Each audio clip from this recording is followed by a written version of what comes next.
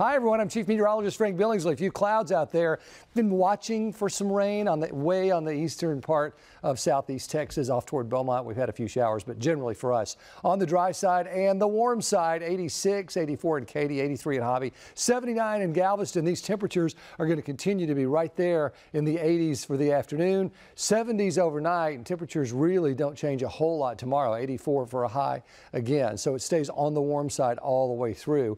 Here's a look at the satellite and radar. You can see across Texas, it's quiet. This is what we've been watching that moved through the Dallas area yesterday dropped a lot of hail there and that continues to move along. So on the east side here, a shower or two. This doesn't look like much off here in Arizona, but that's what we're going to have to watch for Wednesday. That system is going to continue to slide in our direction. So tomorrow is just warm and mostly sunny we get to Wednesday and look at that front that starts to form. That's 7:30 in the morning, right down I-35 from Dallas to Austin and San Antonio. So that's 7:30 on Wednesday. Once we get into the afternoon, and of course the Shell Houston Open is going to be kicking off, uh, and we're going to be covering it on Wednesday. But some storms through the afternoon and the evening hours until that front finally gets out of here. So here's a close-up of Wednesday. This is 7 in the morning on Wednesday. A few showers, especially on the uh, west side. That's about it in the morning. Once we get into the afternoon We start to see this line of storms coming toward the Houston area. Continues at 3, and then it's uh, 4 o'clock,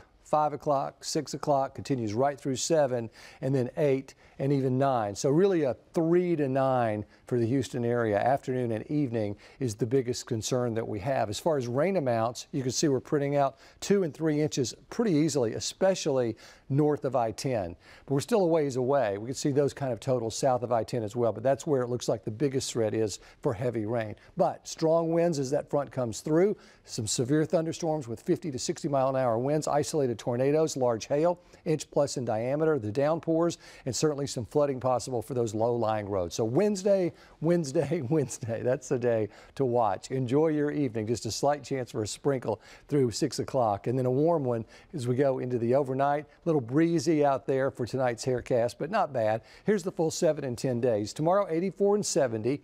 On Wednesday, 80% chance for those showers and storms. Once we get to Thursday morning, I think we're really in the clear. There's a 20% chance for a lingering shower, but it's really Wednesday. Shell Houston Open should have some nice days, but then another system is headed our way for Sunday, late Sunday into Monday. 50 and 70% chances for rain on those uh, days, and those could bring in some strong thunderstorms as well. So a couple of big opportunities for springtime storms. You can get all of your weather for all of this anytime right here at click2houston.com slash weather.